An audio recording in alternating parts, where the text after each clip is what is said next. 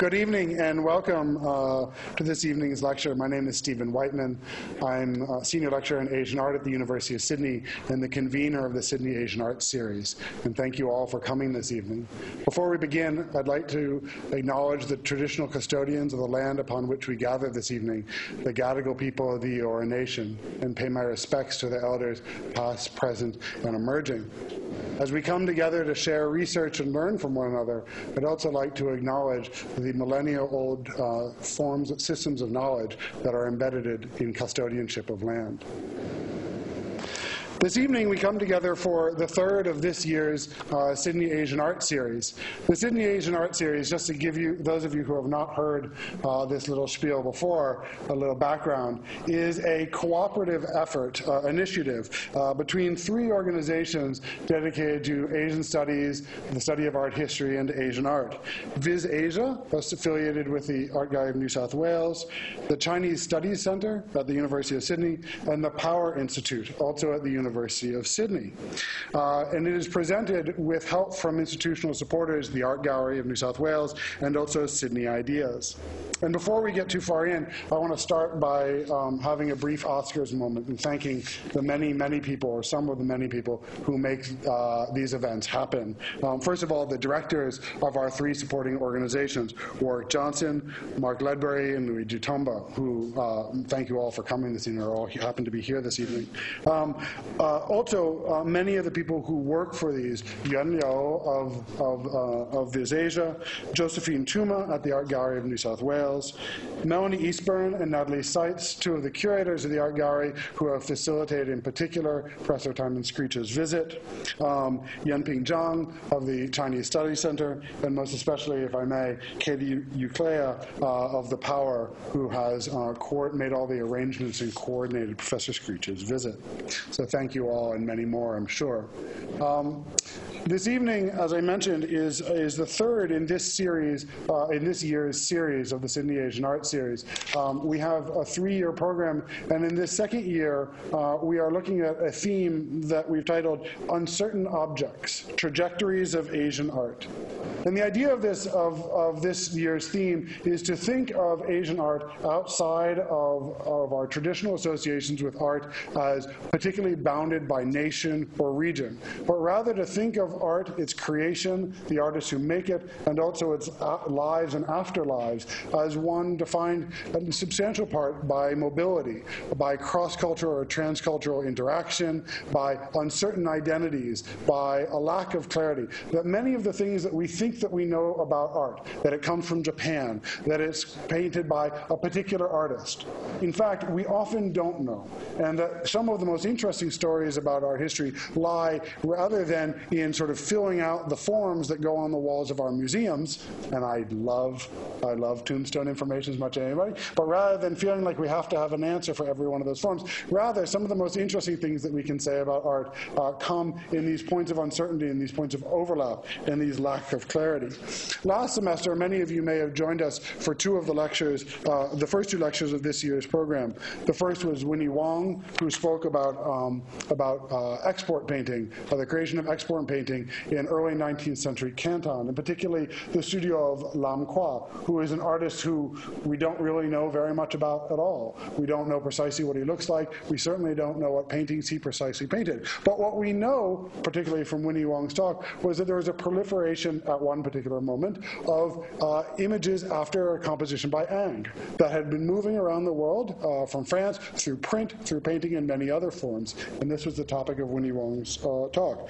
And then uh, subsequently, we welcomed Ajay Sinha from, uh, from Mount Holyoke College, who spoke about a photographic encounter between a, a, famous Indian dancer, Ram Gopal, and a somewhat less famous, but still fairly prominent New York photographer, Carl Van Vechten, in the 1930s, thinking about the way in which celebrity identity was formed through the camera in a, in a cross-cultural fashion in the early part of the 20th century.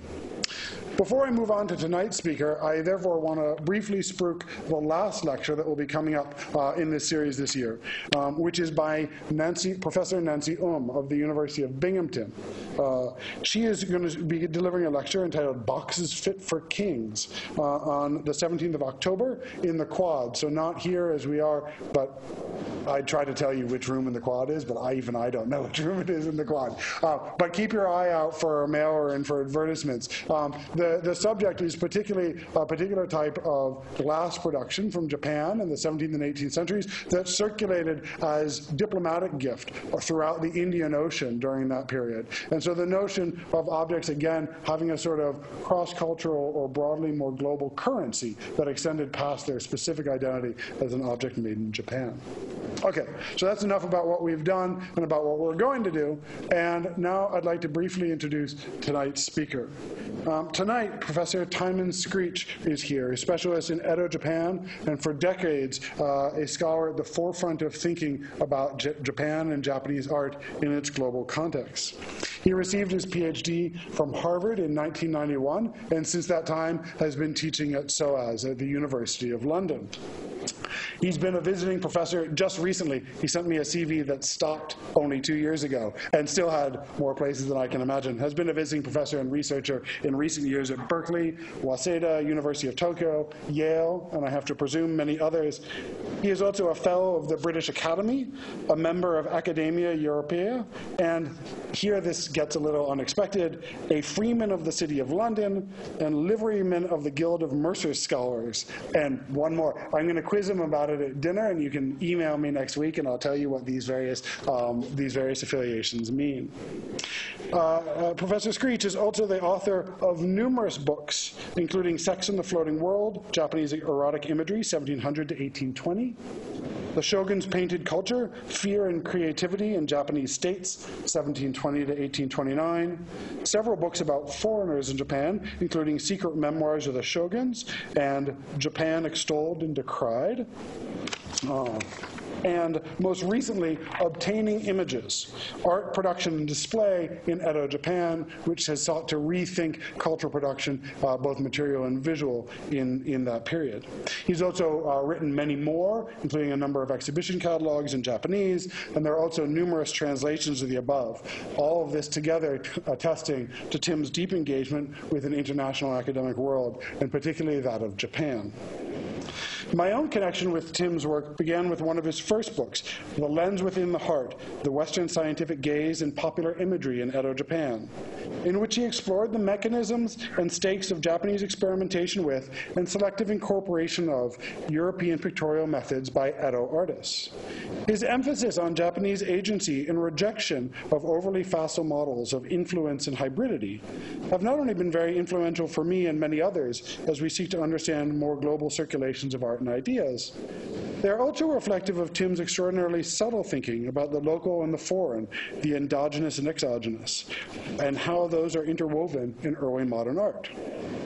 So tonight, Tim will be picking up a, uh, a, not related, not so close theme, but another theme having to do with global circulations in, in Japanese culture, and he will be sharing work from his forthcoming book uh, from Oxford University Press, The Shogun's Silver Telescope, God, Art, and Money in the English Quest for Japan, 1600 to, 16, uh, to 1625. So if you all please join me in welcoming Professor Timon Screech. Thank you very much. Thank you. So first of all, I turn on my mic here. I'm quite loud, so I don't think you need the mic to hear me, but it's being recorded for posterity. So, right. Thank you very much for the um, kind introduction, and thank you everyone coming. In, in England, if the sun shines during the day, nobody turns up for a lecture in the evening. But if that was the case here, you'd never have any lecture attendance. So thank you. Thank you all for coming. It's been fantastic to have the opportunity to come and visit Australia. Only the second time in my life, and I've had a really, really wonderful time so far, uh, and uh, a couple more days to come. But today, anyway, I wanted to talk about um, one little moment uh, which is the English arrival in Japan. And those of you who have spent time in Japan, working on Japan, reading about Japan, know, of course, that the Portuguese and Spanish were the first Europeans to arrive in the middle of the 16th century. The Dutch turned up at the beginning of the 17th century. The Spanish and the Portuguese were expelled. The Dutch remained, and they stayed there right through until the modern period. The Spanish and the Portuguese, of course, were involved uh, in trade, but also um, evangelism. The Dutch had no particular interest in evangelism, but they were interested in trade. And that's the way the story is normally told. It's not completely incorrect, but of course it misses out several things. And one thing it misses out is the fact that the English arrived at one moment. And the fact that you know, I happen to be English maybe is why I might be interested in it. But actually, the English arrival brought some other little factors into play, which can be omitted if you're telling a big overarching story, but which actually complicate and, and make the, the, the, story more interesting. So I just wanted to share those with you today at the time available. Since there's no clock, I'm going to bring my phone out. If I look at my phone, it's not because I'm checking messages, I just don't want to speak for too long. I do want to speak for too long, but I don't want you to have to listen to me for too So it really began with a trip I made to the countryside to this um, rather nice uh, regional mansion. It's their photograph at the bottom, and when I went there was a fair going on. So people had parked all over the lawn, which isn't really very nice. It's called Prideaux Place in the southwest of England in Cornwall. Uh, many family names end in O. You may be aware of the famous Professor Harold Bolitho from Monash University, who a great figure in Edo studies, sadly recently deceased. And Professor Bolitho spelled his name with an O on the end. That means he came from a rather humble background. If you think yourself posh, you spell it E-A-U-X. It's pronounced exactly the same. So Prideaux Place, obviously old landowners of Cornwall. This building is from around about 1600, of course, changed a lot over the time. And I just went to see it purely as a tourist, and inside I saw this box. And it's intriguing. It's a very typical, sort of round about 1600 maritime shape. So clearly, this is something which has been made. It's not of English manufacture, made somewhere overseas in a certain shape for a certain purpose. And I began to think, where was it made? Why was it made? Who owned it? What was it used for? Before it came to rest for two or three hundred years in this um, Cornish stately home. Well, first of all, the shape. It's absolutely typical maritime shape, right? And if you, um, I'm sure many of you, like me as a child, you had your pirate stories, Long John Silver, 15 men on a dead man's chest, ho ho for a bottle of rum. Maritime chests, have domed roofs. It, clearly, this is for use on a ship. And then, you know, pirates sitting astride boxes with domed roofs, it's, it's totally standard um, Long John Silver stuff. But then, why should a trunk for use at sea have a domed roof? Lid. The Portuguese were the ones who came up with this answer. It's obviously not a case for moving goods around. It's beautifully made. It's for some elite person, the commander type person on a voyage, to move his, almost certainly a man, his things around, and they will be valuable things. So, above all, it's like when you fly first class. You want your bag to go in last and come off first on the carousel. And it's exactly the same. If you go around your top, nothing can be placed on top of your trunk your trunk is the last one to arrive, the first one to come off, and it'll be above the waterline. So it's exactly a way of saying I travel first class. And um, it's perfect. So we know that Portuguese had discovered it, invented it already. But it's not a Portuguese case because it's, it's um, decorated in a way that the Portuguese uh, did not decorate things. In fact, you look at it, you immediately say this mother of pearl inlay in a kind of um, half moon shape is Gujarati. It's from northwest India, and these things are quite common in uh, collections around the world, round about 1600 elite pieces. The Mughal Empire is exporting things, itself exporting things to Iran, to Turkey, but having its goods exported by third parties, European ships or Arab ships to other places too. This one happens to be in the royal collection. You can see basically it's the same. It doesn't have the rounded top. But it does have an upper top, which probably simply means you can get more stuff into it. But also something could not be stacked on top. So someone's been discovering that if you make a, a non-flat top, you can't put things on top of it. Your thing is the top. So we've basically got a Portuguese shape with Gujarati designs. Now, that's perhaps not so strange. The Portuguese were all over India. But They kindly let me move the case away from the wall when I saw it stand against the wall and look the back of it. The back of it is like this. It's Japanese lacquer. So somebody was thinking about the front did it in a way that's very special. And when at the back, nobody sees the back anyway, they went into default mode. And this is something that, um, well, it was sort of, uh, it's, it's, it's, Arthur Conan Doyle kind of stuff, that, that, that um, Dr. Watson, right, and Sherlock Holmes, how do you detect a criminal? When criminals are thinking, they, they throw you off. And when criminals go into default mode, they don't think what they're doing. They go into autopilot. That's when they betray themselves. The notion of the clue. Right? And so this is the clue that the maker who was thinking the top, the front, it's all on commission, I've got it properly, nobody told me what to do with the back, what do I do?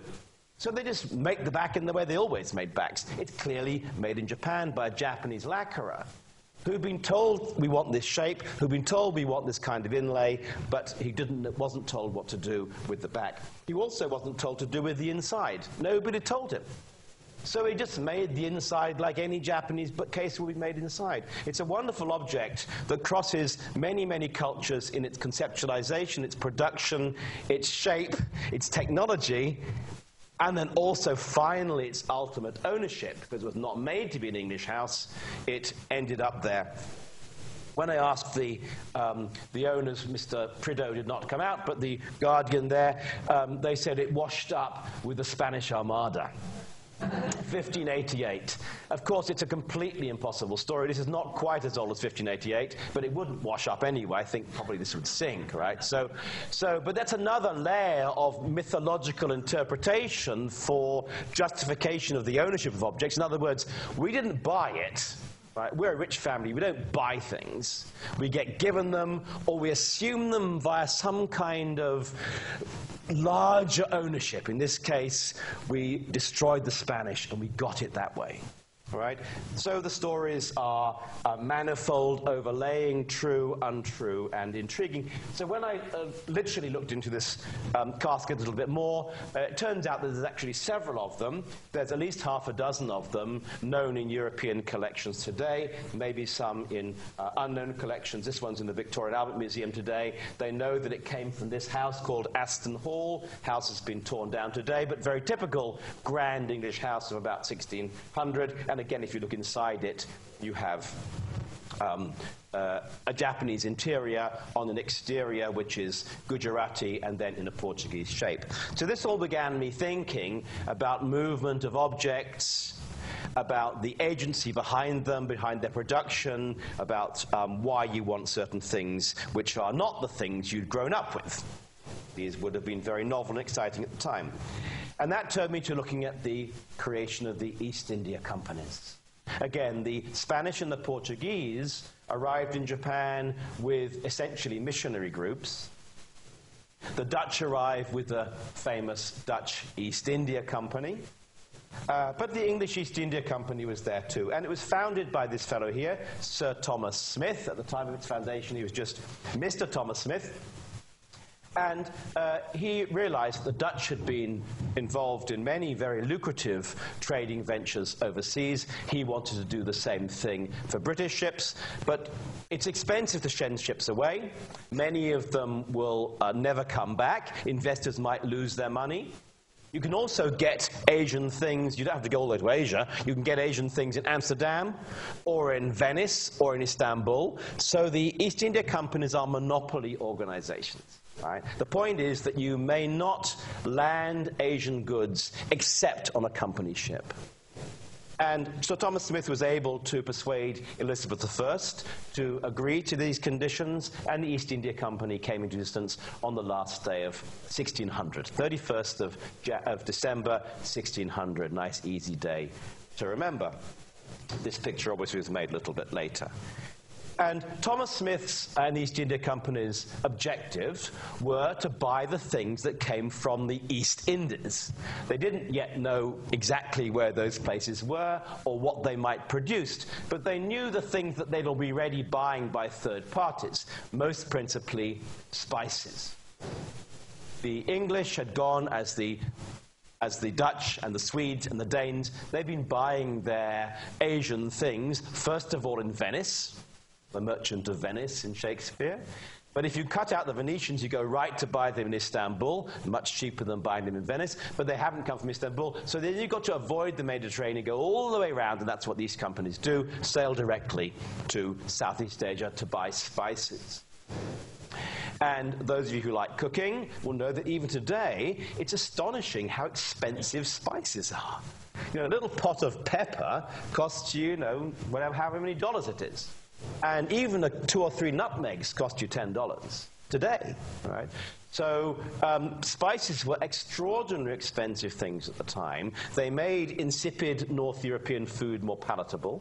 But also many spices were given medicinal properties, especially nutmeg. Nutmeg was believed to be a cure for plague. Plague was still rife. Sir Thomas Smith even the head of the East India Company would himself die of plague in the year 1625. Plague, after all, is a horrible leveler, right? If you're very wealthy and you eat good food, you don't get ill that often. But plague hits everyone. And so it is a, a cure for plague will cost as much as the richest person in the country is prepared to spend which is a lot. So it's worth sending ships all the way from Amsterdam or London uh, to uh, Southeast Asia to buy principally nutmeg, but also clove and pepper. And that is indeed what they wanted to do. Now, being Australians or living in Australia, you know this map. But if I'm talking this to Europeans who have a very cloudy view of Southeast Asia, then, of course, you um, go around. Is this the right? Okay. You go, of course, you go around uh, Africa, just down here. Uh, you can you can go to India, Gujarat, that's where that casket comes from, but you just go straight across. Now, getting from Europe to Java and Sumatra is actually very easy. I mean, your ship might go down, but there's no difficult sailing involved. But going, and so that you can then buy your spices here. And the Portuguese were controlling down through um, straits here, like Malacca, and the Dutch and English cannot use this route. They have to go through um, the straits here, the Sunda Straits, and the spices are produced around here. Getting through is not so easy, only two little sea lanes, but you can buy them here. So the English are basically going to buy spices on Java. They hope one day to get through Java, to cut out the Javanese and buy them direct at the so-called spiceries. That would happen in due course. For the first 10 years of the East India Company's existence, that's what they do.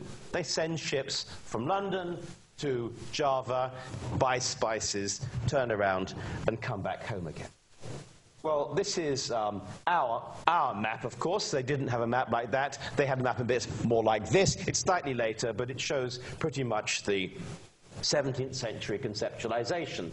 Uh, it's very obviously dangerous sailing around here. There's an awful lot of islands. It's not clear where there are reefs and shoals. It's quite different from sailing across the Indian Ocean, which anyone with a good wind and uh, knowledge of the stars can do. Here you're going to need local pilots with local knowledge. There could be pirates um, hiding around anywhere. It's very deadly. So don't do it. Right? That's why the East India Company is perfectly happy just to do its trading here. But they run into a problem. The English are buying spices. They know what they want to buy. But they're not going to steal them. Uh, well, they probably would like to, but they can't. So they have to buy them with something. And what are you going to pay for them with? Well, they pay for them with silver because England's at war with Spain. Spain controls the silver mines of Latin America. Francis Drake and all those people, they steal the so-called plate ships, the ships being plata, silver from, from the, and that's absolutely fine. But after the death of Queen Elizabeth I, King James I comes along and he makes peace with Spain. Suddenly the English can't steal Spanish silver anymore. So they're going to have to pay for the spices with something else. Well, that's fine. England had one, well, one excellent export product, and all they need to do is bring that over. It was woolen cloth. English woolen cloth was of very high regard at the time. One half of all sheep in Europe are still in England. Right, we eat a lot of Australian, New Zealand sheep, today, but still, uh, wool is a very big product. So all you've got to do is bring your wool over, and the Javanese have never seen sheep before, and they probably will love to buy it, make the exchange that way. And that's what they do. Ship wool comes over, and the Javanese say, we love your um, wool, but you do realize it's 40 degrees outside most of the time.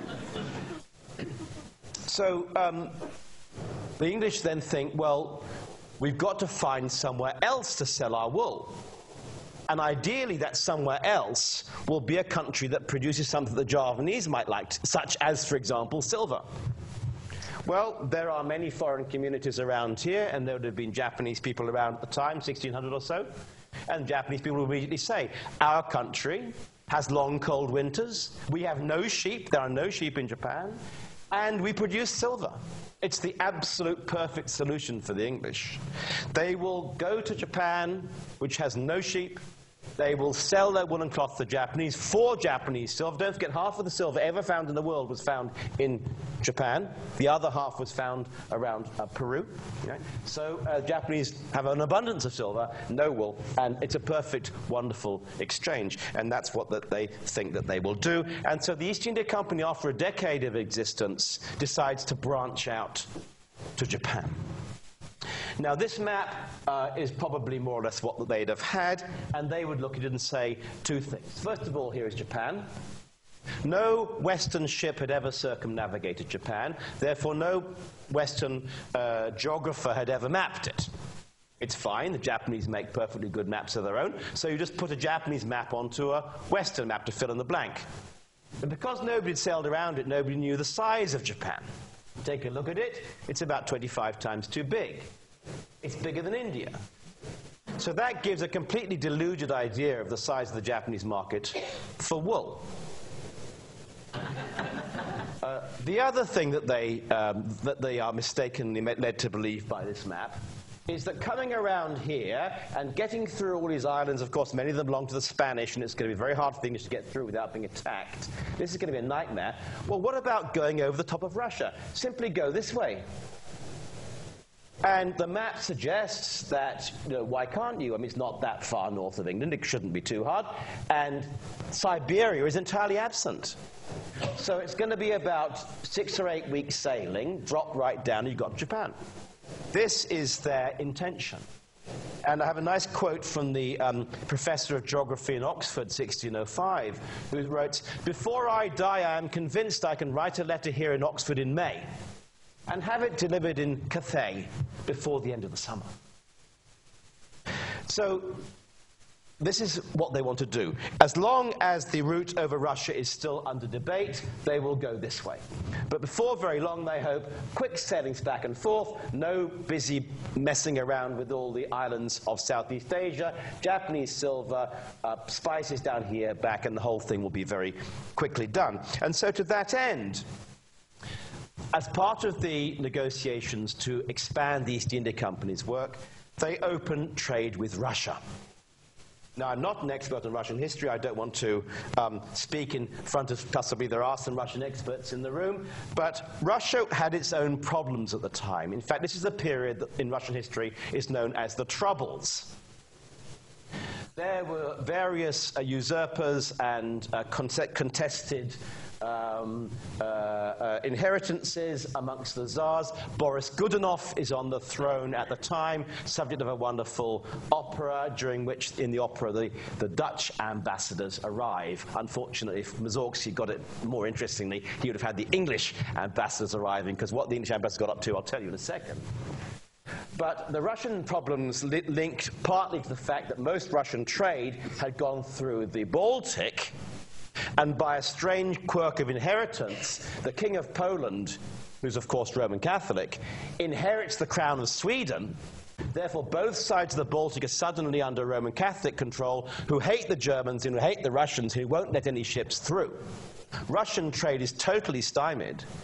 And so, what the Russians do is open a new port, Archangel, for the English and the Germans and the Dutch to go over Scandinavia and come down here. So already the ships are sailing to that northern part of Russia, which they'd not been doing in previous centuries. And so the English sent an ambassador to Boris Godunov with three requests.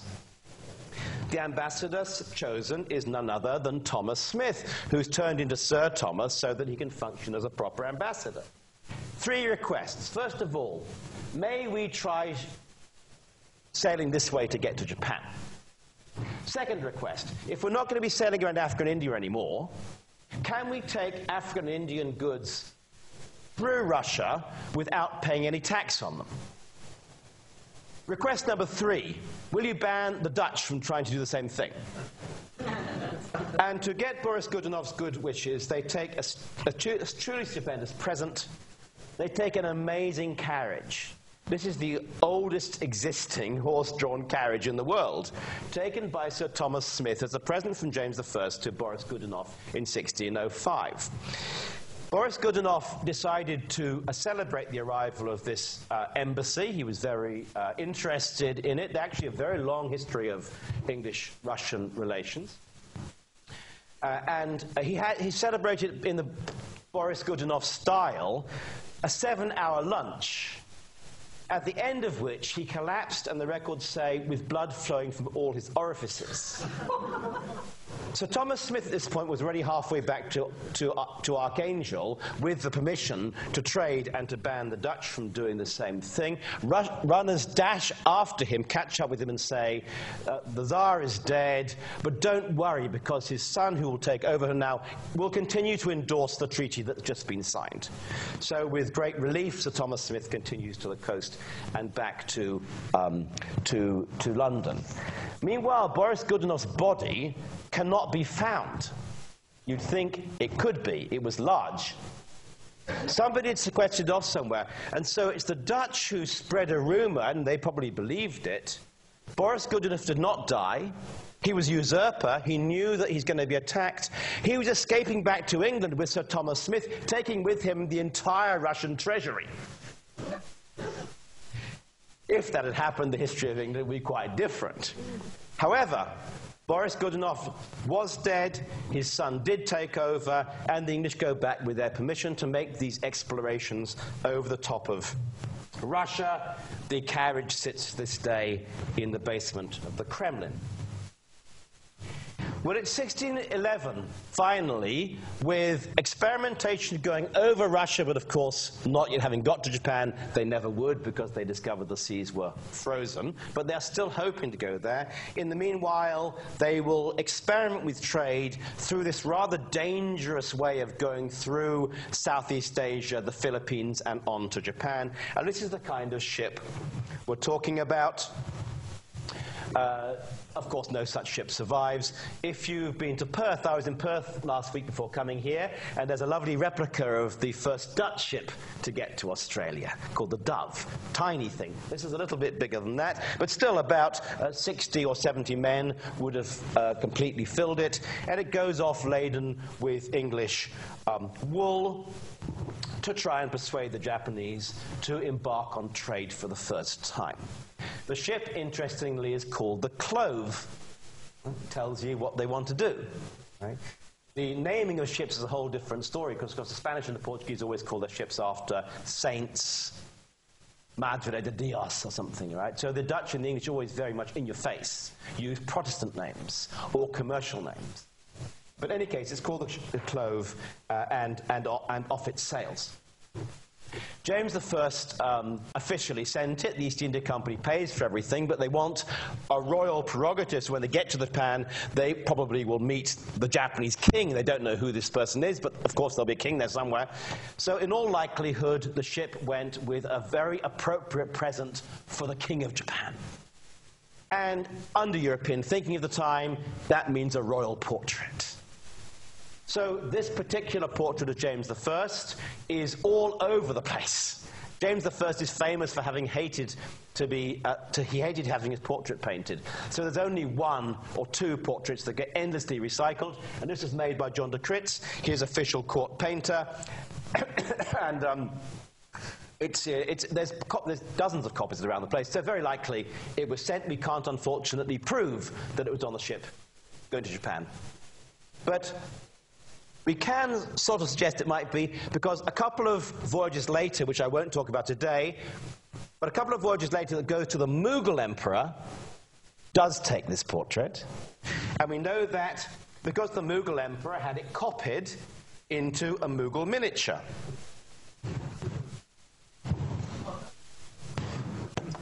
And, and the title is The Great Mughal Prefers the Teaching of a Sufi to that of Foreign Kings. Uh, fascinating portrait its own right because the actual Mughal emperor is very interested in Western painting. You see the hourglass, the putti. It does have a lot of Western bits and bobs in it, but fundamentally, of course, it's a, it's a Mughal painting. So anyway, it's possible that this first ship sailing in 1611 takes a royal portrait. We can't tell. But we can tell, when the ship eventually arrived, what it would have as the royal gift from James I to the King of Japan. Today, of course, we call him the Shogun. And it was a telescope. It's the first telescope that ever left Europe. It's the first telescope that was made to be a royal presentation object. Now, this, of course, is simply a conjectural reconstruction. Galileo had done his experimentation with the telescope only in 1609. So, for in late in 1609, actually. So, in early 1611, for a telescope to go in Japan, that's absolutely perfectly extraordinary. And Galileo's telescope was simply a tube with lenses. I mean, it wasn't supposed to be beautiful or anything. The one going to Japan is referred to as silver, silver gilt, actually. Silver gilt means that you make it from silver because silver is a very hard metal, but silver is not that rare, so you then gild it so it looks like gold, but you can't make it out of gold because gold's too soft. So silver gilt is a very common uh, royal gift level kind of material to have, not like a piece of wood. Why a telescope should have been selected is what my book is about. So, for lack of time today, you'll have to wait. Uh, all I will say, very simply put, just in two sentences, is that the Spanish and the Portuguese are already in Japan. And most principally, they are represented there by the Jesuits. And the Jesuits, as well as trading, of course, are converting the Japanese. And one thing the Jesuits are very, very big on is education. Probably some people in this room had a Jesuit education. The Jesuits teach the Japan, all Japanese, all kinds of things. And one of the things they teach the Japanese very, very serious-mindedly is astronomy. The Japanese and the Chinese are obsessed with knowing about astronomy. One thing is particularly the prediction of eclipses is really important in East Asian thought. So the Jesuits and the Portuguese are teaching the Japanese astronomy. Of course, they're teaching them that the Earth revolves around the sun. Heliocentricity is a big talking point. The telescope proves heliocentricity, right? Anyone with a telescope can tell all those things the Jesuits have been telling you about the Earth is the center of the world because Jesus Christ was. Uh, it's a lie. Right? So I think that's the point of the telescope. But at any rate, one came. Now, no early telescopes survive. This is the earliest known depiction of a telescope, known to me. Somebody may know an early one. A telescope survives here in a painting by Bruegel, Sight from the Five Senses. 1618 is a little bit later, but it is a silver telescope. So, um, probably the one that went to Japan looked something like this. At any rate, the shogun, technically speaking, he's the retired shogun, Tokugawa Ieyasu, retired but still maintained the trappings and the powers uh, of office. And he was living in retirement, not in Edo, modern day Tokyo, but in this place called Shizuoka. It's a lovely, if you haven't been to Japan or if you have been to Japan or are going again, don't forget to make a stop in Shizuoka. The castle in which the retired shogun lived has been re partially rebuilt. It burnt down in historic times. So he was living here when the English ambassador turned up and handed over the telescope.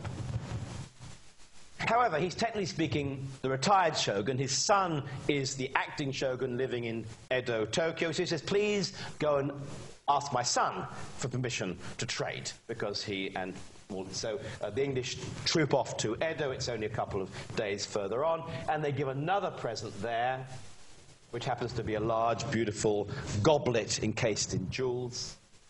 Uh, and the shogun gives a reciprocal gift, which you must give, which was a wonderful suit of armor. It made its way back to London, and from that day to this, it has sat in the Tower of London without having been moved. Recently, it's been removed to be restored. The shogun himself, being now notionally in retirement, does not give military goods. He gave, as a reciprocal present, five pairs of gold screens. They don't survive. We don't exactly know, but this is the sort of thing we're talking about. Um, there's a wonderful pair of gold screens in the, um, in the uh, Gallery of New South Wales. I saw them yesterday. The kind of, they're huge, wonderful things. Five pairs. This is one pair. Uh, they were given, uh, they were taken back, and um, they would, in due course, as I'll tell you, arrive uh, in London the, um, when they arrived in London, so the, so the ship indicates that the, the, the, the transfer of goods happens, the shogun receives his telescope, and he gives the English permission to trade. Uh, the English ambassador representative goes back to London with the armor, with the screens, and the ship arrives back in 1614. Left in 1611, arrives in Japan in, Japan in 1613.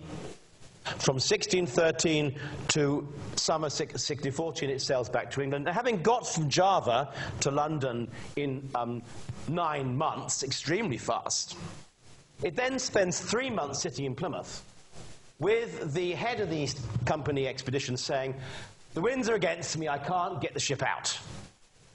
Now, this is rather suspect. Right? The company wants that ship round in London so that they can unload it. And he's saying, I'm keep trying, keep trying, keep getting blown back. Meanwhile, he's selling everything off. Right? So the head of this mission, whose name was John Saris, became suspiciously wealthy as a result of the, the voyage. The company gets very concerned about this and say, well, um, we're going to send, we're going to have a pilot come around, and eventually the ship comes around. And when it comes around to London, off come the permission to trade, the screens for the king, the armor also for the king, these wonderful gifts. But John Saris, the head of the, head of the mission, had thought to himself quite sensibly that if the king is receiving a number of Japanese screens, surely Japanese screens are going to become very desirable commodities for wealthy people in London. King's got one, everyone else is going to want one too.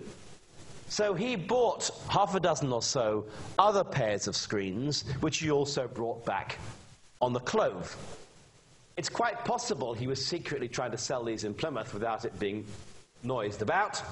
But in the end, he didn't sell them. They did come back. They arrived in London. And so Thomas Smith has a look at the screens from the Shogun to be given to the king and the screens that Saris has bought to sell on the market in London. And he comes to this amazing conclusion. The screens which are sent under His Majesty are not so good as some of those which the company have. Not above two or three should be presented to His Majesty using some of the best the company have instead of them. So amazing, the Shogun must have given the screen some of the best that possibly could exist. And John Saris has bought a few in the market in town. And Thomas Smith, so he moves them around. The king gets his allocation, but they're not the original intended ones. Now, it's just an amazing thing in the history of taste what it could have been that led him to this conclusion. We can't tell because we don't have the objects. Maybe there was more or less gold. Maybe it was subject matter. Some subject matter were thought more royal than others. These ones are bird and flower screens. Maybe, maybe that you know Europeans don't really want pictures of pretty flowers and birds. They want pictures of a more robust kind of subject. Who knows? But the screens, some screens did go to the king. And we have no records of them except that when Oliver Cromwell came along and liquidated the royal collection, the collection was sold off. We have the records of the sale. So the Japanese screens were sold off at that time. Uh, in other words, they've been in the collection, they were spread around various royal palaces, so they clearly had been valued by the king. And the other screens which the company had bought, whichever uh, they got, they get then sold off. And again, we know who bought them, we know how much they paid for them, and we know the subject matter as recorded by the English sale catalogue. Things like scenes of hunting, pictures of fowl, F O W L, bird and flowers, some referred to as somewhat resembling warfare. Pictures of hunting. So these, anyway, warfare hunting, these are things that English buyers at the time should have liked. Uh, and they, was, they spent many pounds on them. The screens were sold for five or six pounds each, which is a lot of money. And the left-hand, right-hand sides were sold separately. So if somebody had bought both pairs, they'd be spending about £10. For £10, you could get a very good Italian masterpiece at the time. Right. So the screens were certainly valued, sold off. We know who bought them, but unfortunately, in these East India Company sales, only the investors in the voyage are allowed to bid at the auctions. And then, of course, they'll resell at a profit. So we don't know where the screens ended up, although we do know their initial purchases. Um, Saris had also thought to come back with large quantities of lacquer. Now, Japanese lacquer, as we saw with the trunk I started out with, is something that had been valued in Europe for a very long time. Screens had infrequently been imported. They're difficult to ship around the world. They like to get damaged by seawater. They take up a lot of space in a ship. But lacquer is more robust. And so already the Pope, the King of Spain, they already have collections of Japanese lacquer. And it's natural to think that the English are going to start to want some too. So Saris comes back. And as well as the screen sale that takes place, a lacquer sale takes place in London. In fact, the lacquer sale takes place first, 4th of December 1614, with only days of the ship arriving back in London. They sell off the lacquer. And that must have been because they knew they'd get great prices for it the uh, investors are very anxious to have their investment uh, returned to them. The other things the Cloves brought back the paintings, of course, it's bulk cargo, which was spices. That's going to take longer to sell. You don't sell the whole cargo in one minute because you'll flood the market and you won't get good prices. So that will take months to distribute piecemeal. But these things will go immediately. And then, so it's actually the very first art auction in all of British history is a sale of Japanese lacquer. And again, it went for large amounts of money, uh, depending on how much inlay and gold it had. The more inlay, the more expensive. So sometimes it's called a large case. Doesn't go for much money. And then it's said uh, an inlaid case, and that goes for much more money. So this we can't prove that this is part of the sale, but has again been in the English country house for several centuries. It's a, it's a so-called drop front case. Again, it's a European um, shape, but made by Japanese craftsmen. This kind of classical doorway here, which has the lock and a little, little drawer in the middle, totally out of Western um, uh, uh, uh, design motifs, of course. It's filled with drawers, little important things, your seal, uh, maybe some jewels, uh, some important crucial letters would be in this, and then you raise the top and you lock it closed, nobody can steal, but also in the ship with lots of movement, the drawers aren't going to fall open. So again, it's an elite maritime object. Such things, at any rate, arrived in England in quite large numbers 1614. Um, Saris had come, therefore, with presents for the king, somewhat similar things to sell on the open market, also with lacquer, that's not a royal gift, this is bought for sale, uh, and also a whole range of other little Japanese objects, small lacquer things, not as grand as this, but little cups, of course, he commissioned some beer tankards uh, made in lacquer, uh, which uh, came back too. Uh, also, little sort of, you know, bits and fans. And these are also put up the by the company for sale. And they don't go for auction, they can go directly onto the London market. And they go for sale in a building which, strangely enough, has been rather forgotten to history. Building called the New Exchange. If you're familiar with London or you get the chance to go there uh, soon, go to the Strand. Probably you'd go to the Strand anyway. And there is uh, Charing Cross Station, and right in front of St. Charing Cross Station is a little sliver of a thin strip called, uh, and today it's, um, uh, I think, Pizza Hut has it. But it used to be this rather grand building called the New Exchange. And the New Exchange was built by Inigo Jones, the first English architect ever to have studied in Italy.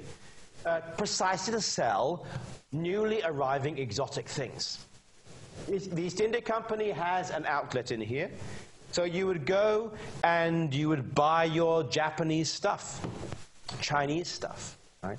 When the new exchange was opened, there was a gala opening, and the text from the masque, right, the play of the opening, has recently been discovered, having been lost. And the text is narrated by somebody called the Chinaman, which means a person who sells Chinese things, not a Chinese person.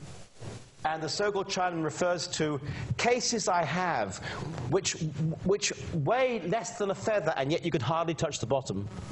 That has to mean Japanese lacquer chests. Uh, for sale at such a place. It doesn't, of course, exist today. The building's long since been knocked down.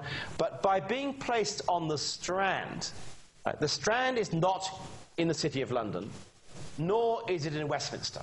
That means it's not in the mercantile city, nor is it around the court and the royal palace. Strand obviously means along the river. It just was a strip of land along the river. So build this place here means that merchants can go and courtiers can go and they can mix. Men can go and ladies can go.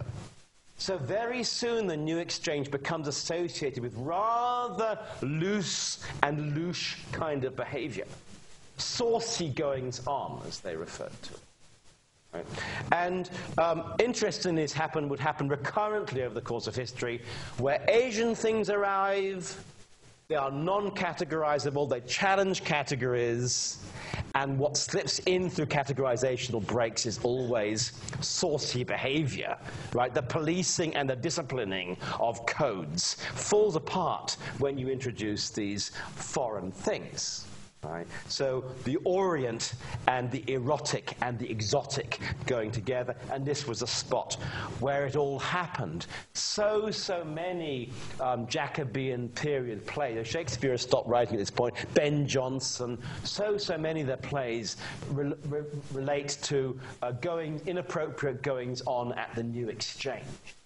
People went to buy things that were uncategorizable objects and they go to buy them at a space, which is a strange building. Nobody had seen such a thing before. Well, um, it's just coming up to seven, but let me say a little bit more before I stop. I've told you about the first ship that went and what it brought back and what might have then happened as a result of the ship coming back. But before the Clove, the first ship, had even come back, the East India Company is so delighted with the prospect of selling wool to Japan in exchange for silver, which they will then exchange for spices. They sent a second ship to Japan. They should have waited to hear news about what the place was actually like. They couldn't wait. So another ship goes off, and when it goes, of course, with loads and loads of wool. And somebody had told them that these foreign people they like art. Right? So they also filled the ship with 120 oil paintings. It's absolutely amazing story. As far as I know, unprecedented. 120 oil paintings. About half of them were portraits of ladies. And, um, and, and we have the names, the Countess of Somerset, right? Princess Mary, and I'd love to know, were the countesses saying, oh, please send my portrait to the Emperor of Japan? Or did the ladies think it's a bit of a cheek that somebody was sending their portrait? We just simply have no idea. But they're referred to as portraits of ladies. And uh, they're commissioned by some London atelier, and we don't know who. But what we do know is that going with this next ship, which is called, by the way, the New Year's Gift, a very Protestant name, right? Protestants don't approve of Christmas. And to show that you disapprove of Christmas, you celebrate New Year, which falls right in the middle of the 12 days of Christmas. And when I was growing up, uh, we didn't celebrate New Year, right? Because at that point, England was not so Protestant. But in Scotland, no Christmas, right? That's why Scots are so big on New Year in those days. Anyway, uh, the New Year's gift um, sails with about 60 portraits of countesses and duchesses and such people. We don't know who painted them, but going with them is a little memorandum about care of the ships en route. And it says, be careful of them because they are new. Therefore, they were specially commissioned to send. They weren't just old stuff bought. Anyways, it, it, it explains about how to look after the pictures en route, but it's signed Rowland Buckett. Now, Rowland Buckett may not be a household name today, but he was one of the most famous painters in London about 1615. And in fact, several works of his do survive in 17th century collections. It means that, assuming he wrote the letter about preservation of the objects, it must mean his atelier produced the objects. So the East India Company had gone to the best atelier in London to get these pictures to send. Who had told them that the Japanese would like pictures of ladies, who knows? But that's half of the consignment. The other half of the consignment are referred to as bawdy pictures, which probably means classical nudes. They couldn't find anyone in London who could paint decent nudes. So what they do is they say, oh, the Italians will be good at that. But the English refuse to buy paintings from Rome because they're all papists and they won't buy things from Rome. So they say they must be from Venice. Of course, Venice is also a Roman Catholic country, but at the time, Venice had very adversarial attitudes towards the papacy. And believe it or not, the English are fully of the belief that the Church of Venice is about to reform itself as an independent church based on the Church of England. This was entirely believed at the time, right? So they say, well, buy the, they haven't got time to send people to Venice to buy them, so they nip across and buy them in Rouen, the main port of France accessible from England. And so off they go and they buy a whole pile of Venetian paintings of nudes in uh, Rouen, bring them back, put them on the ship, and off they go. Right? Now, we have no idea what those paintings were like, except that they were Venetian. And if you're talking about Venetian nudes, of course they weren't um, modern day women lying naked. They were Mars and Venus and Paris and such things. It always means Titian. Right, Tiziano, who was the great founder of the classical nude, already 50 or 60 years ago before this time, and Titian's nudes are everywhere.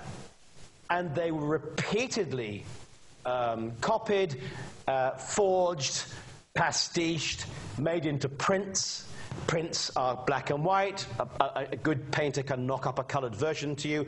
So it's almost certain. And indeed, when the ship arrived in Japan, five paintings were entitled Venus and Adonis. And in all likelihood, they were literally this. Except this is the real Titian, and the ones going to Japan were some copy of a copy of a copy of a copy. When they um, arrive in Japan, the ship uh, arrived there in 1616. The second ship, first ship arrived in 1613. Second ship arrived in 1616. And this um, gobsmacked merchant says, We've received a large cargo of England. Many pictures show ladies. The others show, show pictures, the, the, the, the, betokening of which I cannot fully understand. Right? Well, a merchant has no idea. I mean, he doesn't know classical literature. They don't have titles pinned to them. He just thinks uh, a, a, woman trying to get a man into bed with her. Um, so the English are a little bit surprised about them. Now, regrettably, we have no documentation whatsoever about what the Japanese thought about these things. The English East India Company in Japan, of course, has a warehouse and it's periodically re-inventorized. The things which are sold don't figure in the subsequent inventories because they've been sold. And we can see from the inventories the paintings are dispersed. They go. So Japanese buyers are buying them.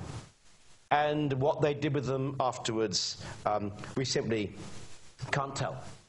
But uh, if I'm always looking for, forward, some Japanese person will say, "Oh, you know, in our storehouse back in the countryside, we've got some pictures like this, and they may one day turn up." But the problem with the Western pictures going, Japanese pictures going to the West, is that people just stuck them on the wall. Japanese screens aren't made for being hung on the wall for 100 years; they fall apart. And equally, the Western paintings have varnish, which has to be removed and re-varnished periodically. If you don't re-varnish them, they just turn black after a certain period. And so the picture probably became uh, invisible and was thrown away. So this extraordinary exchange, which simply took place between 1611 and the first ship goes, 1616, when the second cargo arrives, it's only five years. An amazing exchange took place, which could have changed the history of art in both Northern Europe and in Japan. Nothing happened as a result. Both sets of pictures just simply disappear from the record. But it doesn't mean to say that people at the time weren't extremely excited and enthused by what happened, but they haven't left a legacy.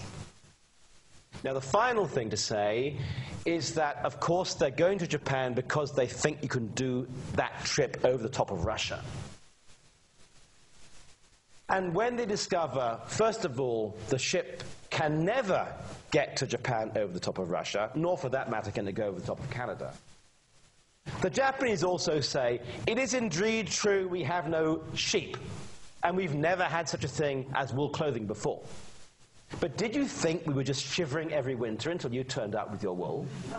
Japanese have perfectly good woolen garments, and in fact, the first winter the English are there, they throw away all their woolen cloth, which is so scratchy on your skin, and they buy this lovely Japanese winter clothing. And the Japanese say, You're not even wearing it yourselves. How do you think we will buy it from you? Well, it so happens that there is a Siamese, a Thai um, mission through Japan at the same time, and they say, We'll buy it. It'll make perfect elephant blankets. and that's the end of the story. Thank you very much.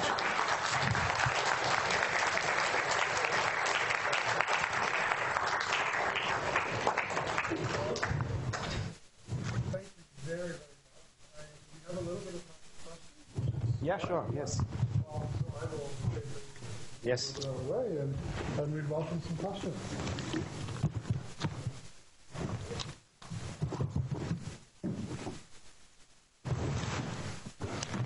No? Yes, no? The lady at the, the Oh, yes, oh, good, hi, yeah, I can see you, sorry. Oh, wait, oh, we have a mic, hold on, if you could hold on one second, so we, I'm a little cold, actually, after this. cold, really? Need some wool. Thank you very much. That was great. Thank you. Fantastic. Absolutely amazing. So, did all of this transpire from the chest? Narratives are always false, aren't they? Um, but uh, so I've been interested in the East India Company history. Uh, well, basically, what happened is that they sail in 1611, they arrive in 1613. So five years ago, 2013 was going to become the 400th anniversary. And there was a move afoot to do something to, to celebrate the 400th anniversary. So I got involved with this thinking about that. And finding that trunk was, was completely fortuitous because I simply, honestly went there as a, as a tourist. But that was a sort of a peg on which I hung it, yes. It's exciting research. Thank you. But it also survives. The other thing is that the problem I have with this story is that nothing survives. The things which went in both directions are gone, except for the one suit of armor which is still there. So at least that trunk is a surviving object.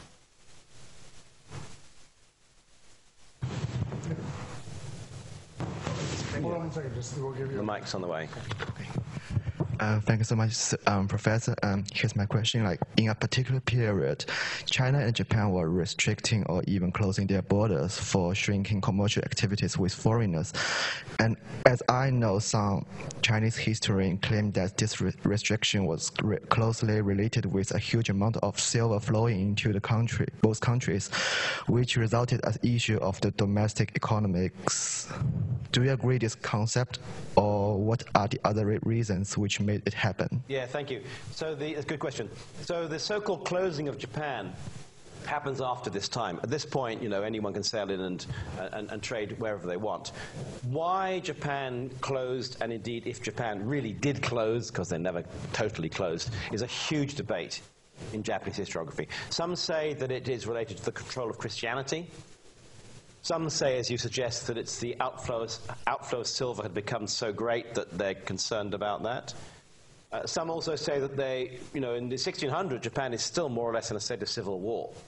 And when the shogunate begins to fully control the country, which it doesn't, do until the 1610s, then they start to want to um, control trade because so much money comes from foreign trade that they want to bring it under their own shogunal control, which necessarily means restricting it. So these are the various things. That, in the case of China, I'm not competent to talk about China, but the Chinese have. Tra- trade is not yet happening with the Chinese mainland at this point. Chinese goods are coming through Southeast Asia, so they, they buy silk in Java, and, and some, some porcelain and things also bought in Java. Another interesting story, sorry, but this has just triggered nothing in my mind, is when the first ship comes back to London, the Clove, bringing the suit of armor and the, and the, so they ask the person that's come back, what shall we send to Japan? We just sent a whole lot of paintings, what should we send next time? And he says, Japanese ceramics is really awful. Send British ceramics. and, and in fact, it's not such a bad idea because in 16, Japanese porcelain industry begins in 1614, right? They, there wasn't any when the first ship turns up. By the time the second ship arrives, the Japanese are making porcelain. Sorry, that's a little footnote. Uh, but anyway, what you, you, raised a really important question. It's, it's, it's, a very, very broad one, and many people have different views on the subject. Okay. Thank you. Thank you so much. I, I loved the, the talk. At, at the end, I was so sad that, like, there was no trace of, of any. Uh, is there really not? Like, I don't know, even like the way, for example, I don't know, like European objects are represented in things like Namban that could have possibly been, I don't know, just, one, is there really like no well, trace? Or? One thing I was deliberately being a bit cheeky today because recently, and the series that you're doing now, the movement of objects and transmigration of objects is a really hot thing in in our history at present. And it's a fascinating story. But of course, it's predicated on the things that survived, like that trunk I happened to see. Uh, there are six that survive today in Europe. If all six had happened to be destroyed by fires, that story could not be told. So, um, the, the, the, you know, um, as our historians, we tend to deal with things which survive, but the things which don't survive are so much more numerous than things that do survive. And if an entire category of objects has disappeared completely, then does that mean we don't study it? Right? So I actually rather like, perversely, the fact that I'm telling a whole story about things which do not exist. Right? And, and, as an art historian, I think it's a slight corrective to the idea that we should only study things which are still there. But, but as you imply, they were kind of trickled down across many, many things. Yes. Yes.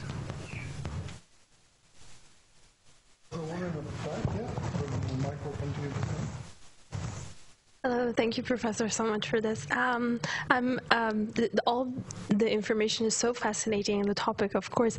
Um, I'm just intrigued by the story bit uh, and how it plays into your research. So, if you can elab elaborate a little bit, because obviously it was um, very difficult to track down all the objects. Yes. And uh, so, how do you, being an art like art history researcher, and I'm a PhD student, as well as being an artist, so being a storyteller, and I see that that's yeah. coming through so much. So, how do you, how do you bring it all together? I mean, in a way, that's what we have to do as researchers, right? It's, it's, it's wonderful reading archives and gathering notes and exactly fun side, which is what you're doing now if you're working on a PhD, right? But at some point, somebody will say, now you've got to write stuff into a thesis. Yeah. So you then have to construct, I mean, after all, we don't, some people write catalogs and do databases, and that's fantastic, right? But in the humanities, we have to put it together into a story. Yes. And, and if your story um, tells everything, then it's not a coherent story. And if your story leaves out certain crucial things, then it's a fake story. So steering it through, leaving out things which are necessary to be known, but taking a different trajectory, of course, is, you know, it comes with practice, I think. Okay. Uh, and, uh, of course, different scholars, you know, do it in different ways. Yes. But I think I was quite lucky here that, that a voyage is itself a story. Yes. So I had a narrative that's there, and, and, and the East India Company was very strict on demanding that its, its servants, as they called them, kept journals. Mm. So the archive of the East India Company is, is very extensive today. Mm. Um, and, and just, it's wonderful reading. And, and, and the, per, the person who ran the East India Company in Japan, uh, you know, he was actually a very highly trained person and, uh, um, and had absolutely nothing to do. He was just trying to sell wool for years and nobody would buy it. So he just wrote all these amazing things that he was thinking and what he'd seen and wonderful descriptions of Kyoto and things like that. Thank you so much. John?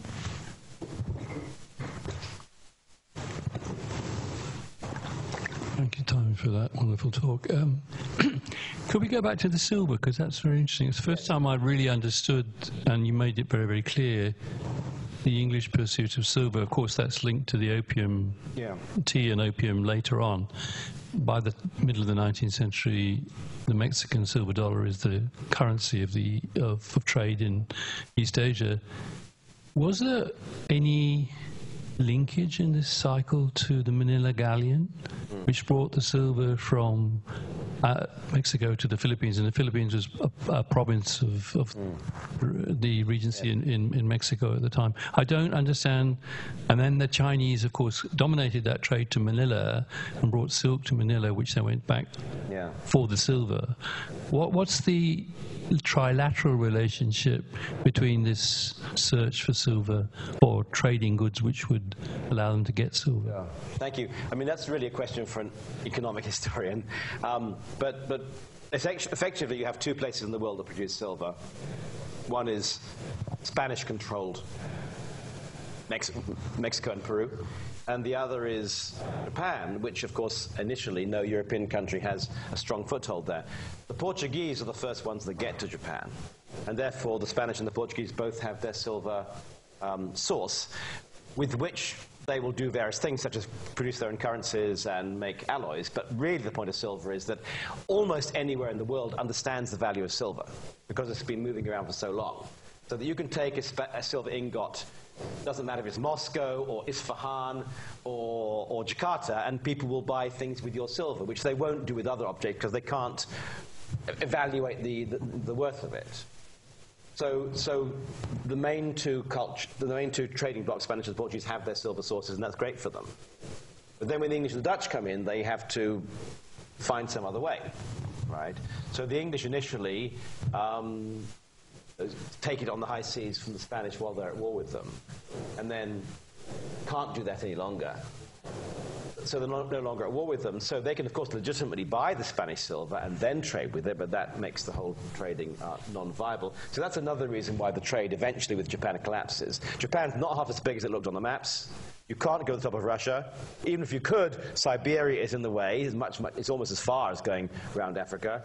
And finally, there just is no goods that they can take to Japan, which is worth buying things. And finally, actually, to be honest with you, Japan didn't produce anything that anyone wanted.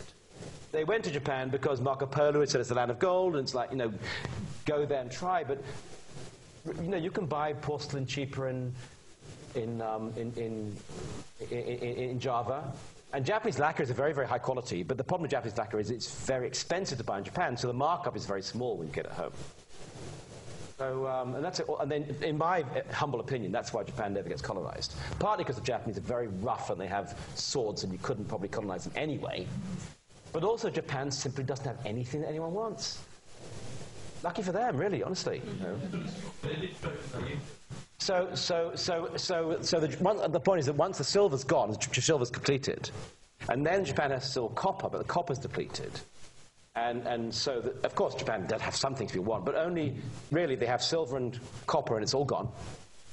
And then it's very, very high quality things, which are also expensive to buy in Japan, and therefore they don't, they don't, don't make sense as commodities.